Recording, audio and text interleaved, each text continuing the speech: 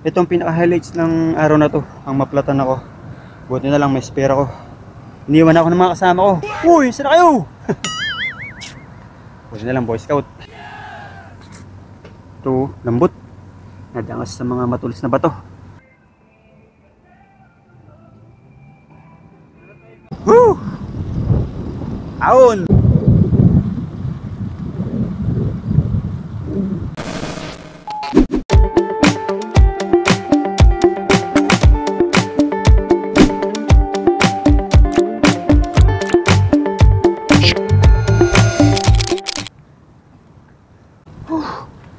Morning guys! Ito ang tinatawag na bigla ang vlog.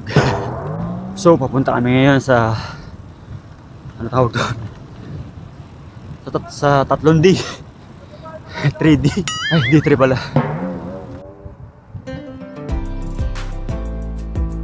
Morning sir! Bablog yan na. Yun! Same like the old days. Ito.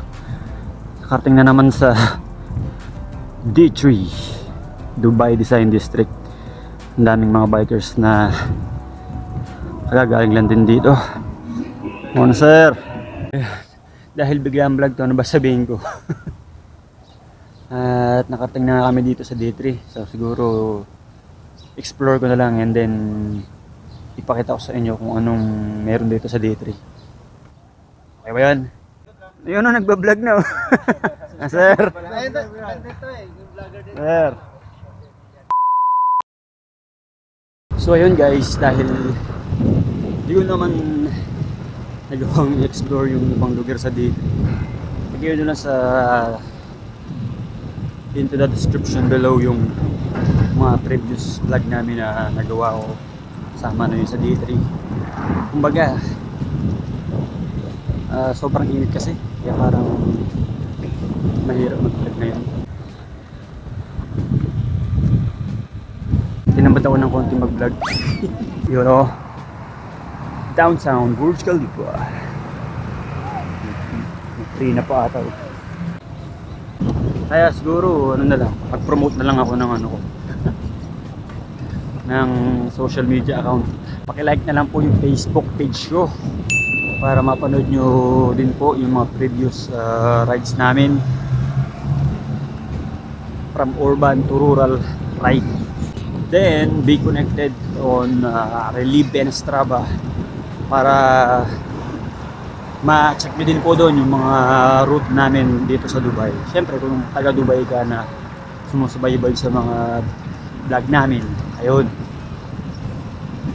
Magkakaroon kayo ng idea kung ano yung mga pinupunta namin. Kaya check out in the description below yung mga uh, link na nakasama po dyan.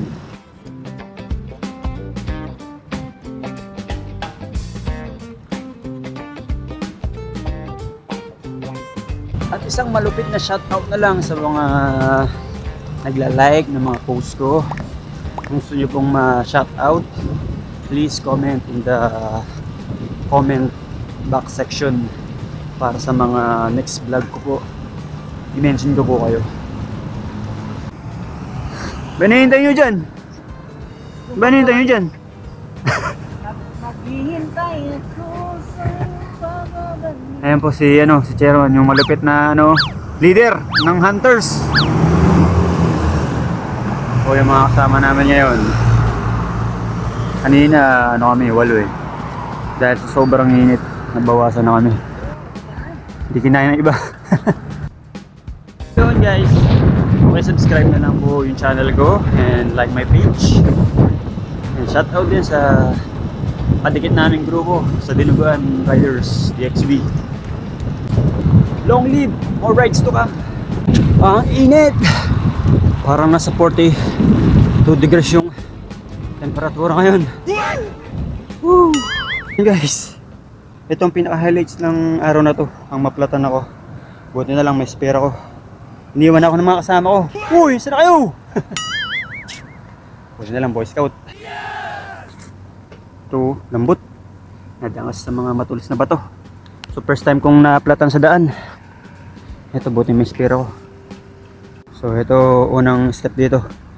Taob muna natin yung bike. Then, tanggalin yung skewer.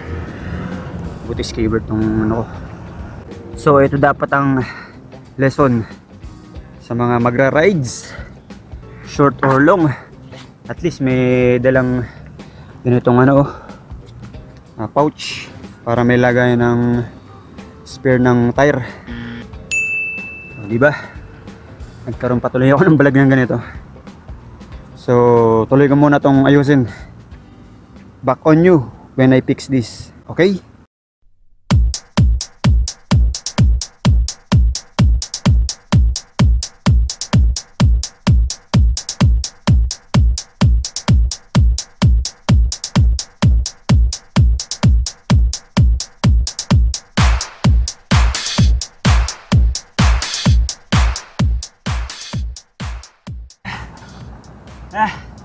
Ah, okay na.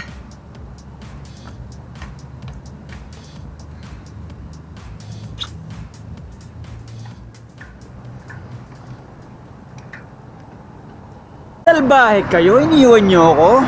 Hmm. Mga ano ba eh. Buo lang kahit pa paano, ah, boy scout tayo para handa tayo sa mga ganong pagkakataon. Kaya guys, lesson po yun. And tip number one, pagka nag-rides tayo, dapat kailangan talaga na may baon na spare ng tube. Para kung sakali man na naiiwan tayo ng mga kasama natin tulad na nangyari sa akin ngayon. Ayan. At least di ba? Boy scout ready. Kaya ayun hanggang dito na lang po tayo. Ah at dito ko na nga po tatapusin ang ah, ang ang vlog na to. So guys salamat sa panonood. Hope na gusto nyo yung na-witness nyong nangyari sa araw na to. Na syempre di ba? Kailangan may diskarte tayo sa sarili natin. Yun oh na hindi dapat ah, na hindi lang tayo sa iba umaasa. Dapat kaya din natin gawin yung sa sarili natin. Lalo sa mga ganyan sitwasyon. Lalim nun! May hugot!